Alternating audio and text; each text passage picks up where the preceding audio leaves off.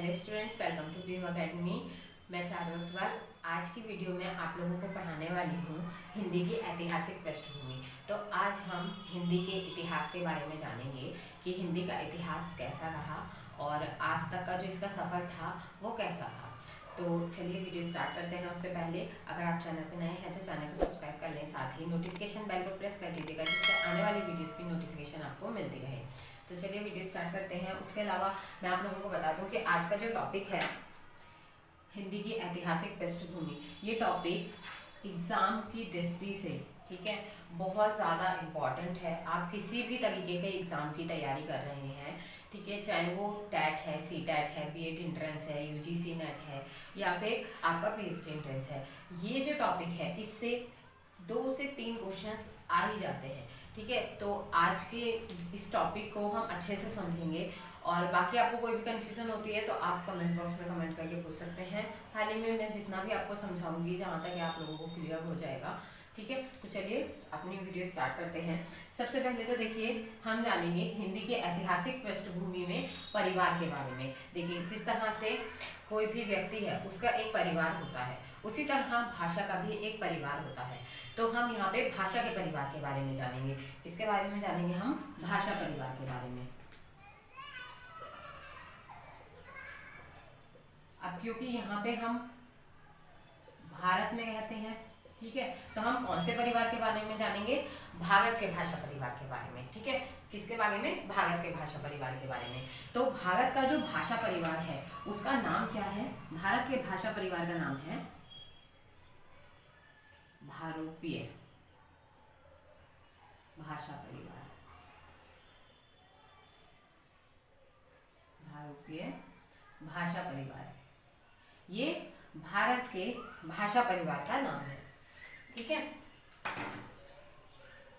भारतीय भाषा परिवार। अब इसके बारे में हम यहाँ पे पढ़ने वाले हैं। अब भारत में जो भाषा परिवार बोला जाता है, ठीक है? कितने भागों में बटा हुआ है वो? दो भागों में बटा हुआ है। कौन से दो भागों में बटा हुआ है मैं बताती हूँ आपको। सबसे पहला भाग आता है आर्य भाषा परिवार। आर्य भाषा परिवार। दूसरा कौन सा आता है? दूसरा आता है द्रविड़ भाषा परिवार। भाषा परिवार। भारत में जो परिवार बटे हुए हैं, वो दो भागों में बटे हुए हैं। आर्य भाषा परिवार और द्रविड़ भाषा परिवार। अब दोनों में क्या अंतर है? आर्य भाषा परिवार जो है, ये कहाँ बोला जाता है? उत्तर भारत में। कहाँ बोला जाता है? उत्तर भारत में, ठीक है? और द्रविड़ भाषा परिवार कहाँ बोला जाता है? दक्षिण भारत में। मतलब भारत का जो निचला भाग है, दक्षिण भाग है, ठीक है? वहाँ पे कौन सी भाषा बोली जाती है? द्रविड़ भाषा। मतलब द्रविड़ भाषा परिवार के अंतर्गत आने वाली बोलियाँ वहाँ बोली जाती हैं। और आर्य भाषा परिवार के अंतर्गत आने वाली बोलियाँ कहाँ बोली जाती हैं? उत्तर भारत में। संपूर्ण उत्तर भारत में आर्य भाषा परिवार की बोलियाँ बोली जाती हैं। ठीक है? अब यहाँ पे पहले हम द्रविड़ भाषा परिवार के बारे में देख लेते हैं, क्योंकि इसके बारे में मोस्टली क्वेश्चंस नहीं आते हैं। कुछ क्वेश्चन आते हैं, एक या दो क्वेश्चन वो मैं आपको बता दूँगी अभी, कौन से क्वेश्चन आते हैं। हमारा मुख्य रूप से जो पूरा ध्यान केंद्रित रहेगा, वो आर्य भाषा परिवार पे रहेगा, क्योंकि आर्य भाषा परिवार से ही मुख्य रूप से प्रश्न पूछे जाते हैं, ठीक है? तो चलिए पहले देखते हैं द्रविड़ भाषा परिवार में कौन कौन सी भाषाएँ आती हैं? तो देखिए, मुख्य रूप से इसमें जो भाषाएँ आती हैं, वो चार भाषाएँ आती हैं। कौन कौन सी चार भाषाएँ आती हैं? एक तो आती है तमिल फिर आती है तेलुगु, कन्नड़ और मलयालम। ठीक है? भाषाएँ और भी हैं, लेकिन मुख्य रूप से बोले जाने वाली जो भाषाएँ हैं, वो ये चार भाषाएँ हैं। ठीक है? जो कि द्रविड़ भाषा परिवार के अंतर्गत आती है। अब यहाँ पे जो सबसे ज़्यादा बोली जाने वाली बोली है, वो है तमिल। ठीक है? तमिल भाषा सबसे ज़्यादा बोली जाती है। दक्षिण भारत में सबसे ज़्यादा जो संख्या है तमिल बोलने वाले लोगों की है। हमारा मुख्य जो ध्यान रहेगा, केंद्रित, केंद्र जो हमारा है, वो है आर्य भाषा परिवार। ठीक है? इससे ही ज़्यादातर क्वेश्चन आते हैं। आर्य भाषा परिवार में देखिए, अभी हमने ये जाना कि ये उत्तर भारत में बोली जाती है। ठीक है? अब आर्य भाषा जो परिवार है, इसकी जो सबसे प्राचीनतम बोली है ठीक है? सबसे पुरानी भाषा जो बोली जाती थी, वो कौन सी भाषा बोली जाती थी? संस्कृत भाषा।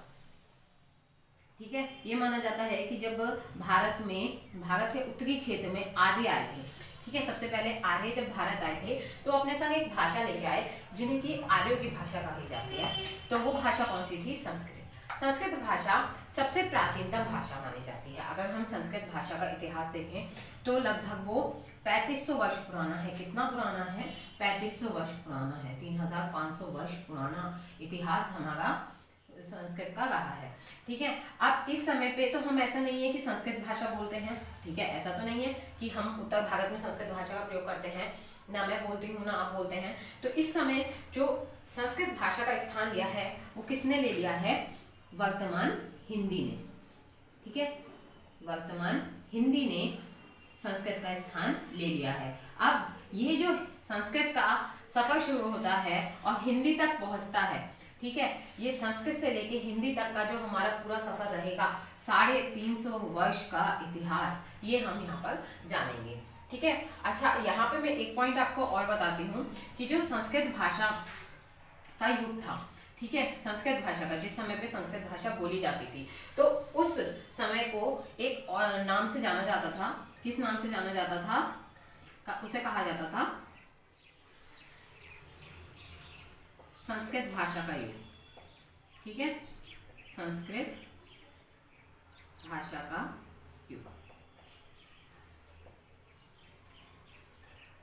जिस समय पे संस्कृत भाषा बोली जाती थी। ठीक है? तो ये एक अन्य नाम है। बाकी इसे किस समय बोला जाता था? प्राचीन भारतीय आगे भाषा का ये जो युग था, उस समय संस्कृत भाषा को बोला जाता था। और प्राचीन भारतीय आगे भाषा युग को ही दूसरे नाम से जानते हैं, जिसे क्या कहते हैं? संस्कृत भाषा का युग। ठीक है? तो ये चीज़ आपको ध्यान रखनी है। बाकी हम यहाँ पे जो तीन हज़ार पाँच सौ वर्षों का समय है, ठीक है? संस्कृत से लेके हिंदी में परिवर्तन जो आया है, उसके बारे में हम आज जानेंगे। तो चलिए, आगे देखते हैं। देखिए, अब हम आगे भाषा परिवार के बारे में बात कर रहे थे। ठीक है, अभी तक मैंने आपको क्या बताया था कि आर्य भाषा परिवार कहाँ बोला जाता है? उत्तर भारत में बोला जाता है और इसकी जो प्राचीनतम भाषा थी, वो क्या थी? संस्कृत थी। और अब जो इस समय बोली जाती है, वो कौन सी भाषा है? हिंदी है। ठीक है? अब यहाँ पे हम देखते हैं कि आगे भाषा परिवार को भी तीन भागों में बांटा गया है। क्योंकि भाई, संस्कृत से लेके हिंदी तक का जो सफ़र रहा, वो आसान तो नहीं था, या बहुत छोटे समय का तो नहीं था, तीन हज़ार पाँच सौ वर्ष का पुराना इतिहास है। तो यहाँ पे हम ये देखेंगे कि कितने भागों में बटी है? तीन भागों में बटी है। ठीक है? तीन भागों में से बांटा गया है। कौन कौन सी?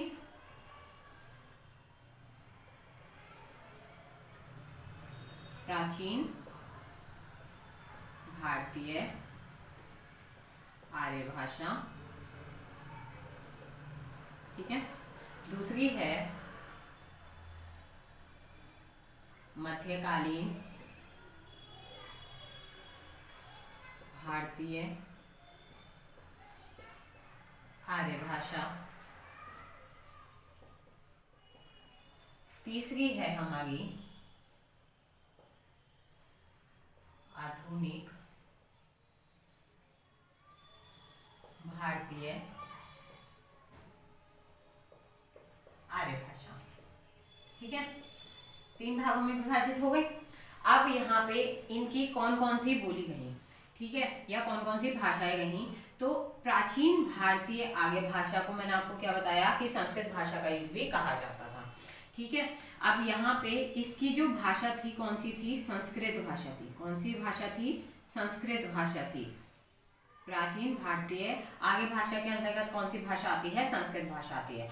अब यहाँ पे संस्कृत भाषा के भी दो भाग थे। कौन कौन से थे? वैदिक संस्कृत,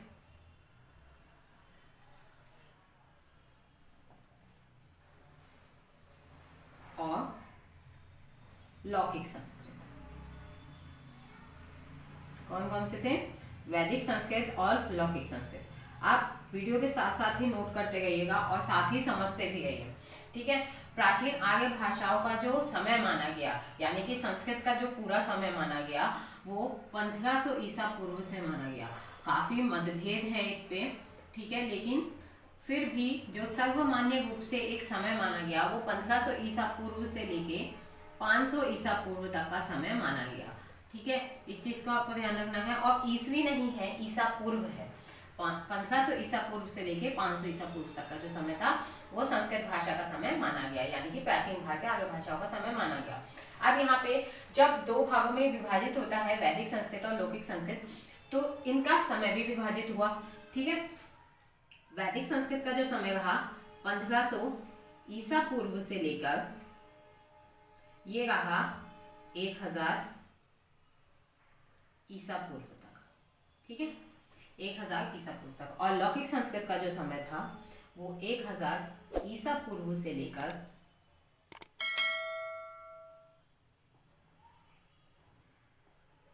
पाँच सौ ईसा पूर्व तक का रहा। यानी कि लगभग 500 वर्षों का जो समय था, वो एक भाषा का रहा। ठीक है? तो वैदिक संस्कृत जैसा कि नाम से पता चलता है, वेदों की भाषा। इसमें मुख्य रूप से वेद लिखे गए, उपनिषद लिखे गए, ठीक है?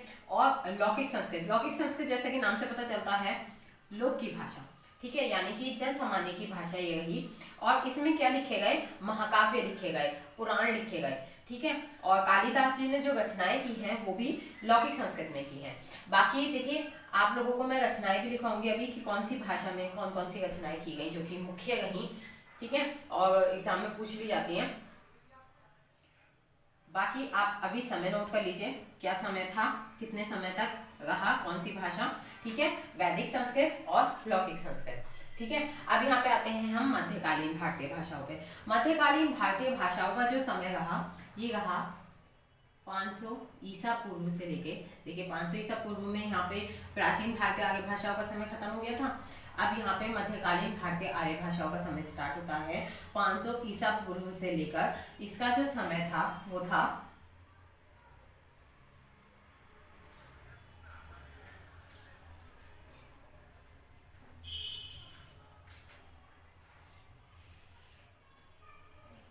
एक हज़ार ईस्वी ठीक है? अब यहाँ पे देखिएगा 500 ईसा पूर्व से स्टार्ट होके ये कहाँ तक जा रहा है? एक हज़ार ईस्वी। यहाँ पे ध्यान रखिएगा कि यहाँ ईस्वी है, यहाँ ईसा पूर्व है। ठीक है? अब यहाँ पे जिस तरह से यहाँ प्राचीन भारतीय आगे भाषाओं में मुख्य बोली कौन सी थी? संस्कृत थी। यहाँ पे मध्यकालीन जो मध्यकालीन भारतीय आगे भाषाएँ हैं, इसकी मुख्य बोली कौन सी रही? इसकी मुख्य बोली रही पाली। और प्राकृत कौन सी कहीं? पाली और प्राकृत ठीक है? इन दोनों को समय के साथ बांटा गया है। ठीक है? पाली भाषा जो थी, इसका समय क्या था? 500 ईसा पूर्व से इसका समय शुरू होता है। ठीक है? और इसका समय कब तक रहा? एक ईस्वी तक। कब तक रहा? एक ईस्वी तक का। यानी कि 500 वर्षों का समय पाली भाषा का रहा। उसके बाद आती है प्राकृत भाषा। प्राकृत भाषा का जो समय रहा, वो क्या रहा? एक ईस्वी से लेके एक हज़ार ईस्वी तक। एक हज़ार ईस्वी तक का जो समय रहा, वो किसका रहा? प्राकृत भाषा का रहा। पाली भाषा में किसके रचना की गई? पाली भाषा की जो रचनाएँ हैं, वो कौन सी हैं? महात्मा बुद्ध के जो वचन दिए गए, महात्मा बुद्ध की जो बातें कही गई, उन्होंने जो भी वचन दिए, उन्हें जिन किताबों में लिखा गया, त्रिपिटक नाम की जो पुस्तक है, वो किसमें लिखी गई? पाली भाषा में लिखी गई। तो मुख्य रूप से बौद्ध धर्म के लोगों ने पाली भाषा का प्रयोग किया था। उसके बाद आती है प्राकृत भाषा। प्राकृत भाषा में जैन साहित्य लिखा गया। क्या कौन सा साहित्य लिखा गया? जैन साहित्य। जिस तरह पाली भाषा में बौद्ध साहित्य लिखा गया, ऐसे ही प्राकृत भाषा में जैन साहित्य लिखा गया, ठीक है? तो अभी हम जब इसकी रचनाएँ पढ़ेंगे कि कौन सी रचनाएँ, किस किस समय में कौन कौन सी रचनाएँ मुख्य रही और कौन सी रचनाएँ लिखी गई, तभी हम यहाँ पे बात करेंगे। अभी हम सिर्फ़ काल विभाजन के बारे में बात कर रहे हैं, साथ ही भाषाओं के बारे में बात कर रहे हैं। उसके बाद समय आगे बढ़ता है और आधुनिक भारतीय आर्य भाषाओं का समय आता है। आधुनिक भारतीय आर्य भाषाओं का जो समय रहा, वो एक हज़ार ईस्वी से शुरुआत होती है इसकी, ठीक है? एक हज़ार ईस्वी से लेके अब तक जो समय चल रहा है वो आधुनिक भारतीय आर्य भाषाओं का समय है। ठीक है? इसमें जो मुख्य रूप से भाषाएँ रही, ठीक है? वो क्या हुई? अपभ्रंश भाषा आई। अपभ्रंश और अपभट कौन सी भाषा आई? अपभ्रंश भाषा आई और अपभट भाषा आई। लेकिन मुख्य रूप से इसमें अपभ्रंश की बात की जाती है। जब हम अभी इसमें क्लियरली समझेंगे, तभी मैं अपभट के बारे में भी आपको बताऊँगी। लेकिन मुख्य रूप से अपभ्रंश भाषा आई अपभ्रंश भाषा के बहुत से भेद हुए, ठीक है? यानी कि बहुत से पार्ट्स में इसे डिवाइड किया गया, बहुत से भागों में इसे बांटा गया और अपभ्रंश अपभ्रंश भाषा को जब बहुत से भागों में बांटा गया, तब जाके हमें हमारी जो भाषा है, जो कि आज हम बोलते हैं, वो भाषा मिली, यानी कि हिंदी भाषा मिली, ठीक है? और हम हिंदी भाषा को किस लिपि में लिखते हैं, ये भी एक क्वेश्चन आ जाता है। हिंदी भाषा को हम कौन सी लिपि में लिखते हैं? देवनागरी लिपि में लिखते हैं। इस चीज़ को याद रखिएगा। और मोस्टली आप लोगों को सभी को पता होगा कि हम हिंदी भाषा को देवनागरी लिपि में लिखते हैं। एक क्वेश्चन ये भी आ जाता है कि संस्कृत भाषा कौन सी लिपि में लिखी जाती थी? तो संस्कृत भाषा लिखने में हम ब्राह्मी लिपि का प्रयोग करते हैं, ठीक है? जब हम लिपियाँ पढ़ेंगे, उस समय पर मैं आप लोगों को लिपि में भी बताऊँगी कि लिपि में ब्राह्मी लिपि से लेके जिस तरह से संस्कृत से लेके हिंदी तक का एक सफ़र है, उसी तरह से ब्राह्मी लिपि से लेके देवनागरी लिपि तक का एक सफ़र है। ठीक है, ब्राह्मी लिपि भी बाई ओर से दाई ओर लिखी जाती थी, जैसे कि हिंदी लिखी जाती है। ठीक है, लेकिन संस्कृत भाषा लिखने में हम कौन सी लिपि का प्रयोग करते हैं? ब्राह्मी लिपि का प्रयोग करते हैं। ठीक है, अब यहाँ पे आपको समय पता चल गया कौन कौन सा समय कितना कितना समय रहा? ठीक है, प्राचीन भारतीय आगे भाषाओं का समय पंद्रह सौ ईसा पूर्व से लेकर पाँच सौ ईसा पूर्व तक का था, जिसकी मुख्य भाषा संस्कृत थी और इसे दो भागों में बांटा गया, वैदिक संस्कृत और लौकिक संस्कृत। ठीक है? फिर आती है मध्यकालीन भारतीय आर्य भाषा। ठीक है? इसमें पाली और प्राकृत को लिया गया। यहाँ पे समय विभाजित किया गया। ठीक है? पाँच सौ ईसा पूर्व से एक ईस्वी तक का पाली का समय था और प्राकृत का एक ईस्वी से लेके एक हज़ार ईस्वी तक का समय रहा। उसके बाद आता है आधुनिक भारतीय आर्य भाषा, जिसका समय एक हज़ार ईस्वी से अब तक माना जाता है, जिसकी मुख्य जो भाषा रही वो अभ्रंश भाषा थी, जिसके कई भेद हुए और उन भेदों में से ही एक भेद है हिंदी, जो कि अभी बोली जाती है। ठीक है? तो हम जब अभ्रंश के बारे में पढ़ेंगे, सारे भेद में आपको बताऊँगी, तब हम हिंदी के जन्म तक पहुँचेंगे। एक और चीज़ मुझे बतानी है, कई बार बच्चे कंफ्यूज होते हैं इस चीज़ के लिए कि प्राकृत यहाँ पे आपको कई बुक्स में ऐसा देखने के लिए मिला होगा। प्रथम प्राकृत द्वितीय प्राकृत और तृतीय प्राकृत ठीक है? तो यहाँ पे उसके बाद आपको यहाँ पे ये विभाजन मिला होगा। तो वो विभाजन जो होता है, वो जो दिया गया है, वो इसने दिया गया है क्योंकि प्राकृत भाषा जो थी ये प्राकृत भाषा अपने समय की बहुत ही प्रचलित भाषा थी। तो जब प्राकृत भाषा बहुत ज़्यादा प्रचलित हुई तो उसे एक अपना खास दर्जा दिया गया, जिसकी वजह से प्राचीन भारतीय आर्य भाषा को, प्रथम प्राकृत मध्यकालीन भारतीय आर्य भाषा को, द्वितीय प्राकृत और आधुनिक भारतीय आर्य भाषा को तृतीय प्राकृत के नाम से भी जाना जाता है। ठीक है? और इसी के हिसाब से बाकी सब कुछ सेम है। अंदर का विभाजन सेम है, सब कुछ सेम रहेगा। लेकिन यहाँ पे थोड़ा सा चेंज आपको किसी किसी बुक में देखने के लिए मिल जाएगा। प्रथम प्राकृत द्वितीय प्राकृत और तृतीय प्राकृत में। ठीक है? बाकी कोई भी चेंजेस नहीं है। बस कुछ बुक्स में हमें मिलता है देखने के लिए और फिर हम कंफ्यूज होते हैं। तो इसलिए मैंने आपको बता दिया बाकी ऐसी कोई बात नहीं है। आप इसी तरह से अच्छे से याद कीजिएगा प्रा, प्राचीन भारतीय आगे भाषा मध्यकालीन भारतीय आगे भाषा और आधुनिक भारतीय आगे भाषा। साथ ही इनके समय को याद कीजिए ठीक है? ये जो आज का टॉपिक है ये आज का टॉपिक आपका यूजी पीजी सभी के लिए इंपॉर्टेंट है ठीक है? तो अच्छे से समझिएगा बाकी कोई भी कंफ्यूजन होती है तो पूछ लीजिएगा।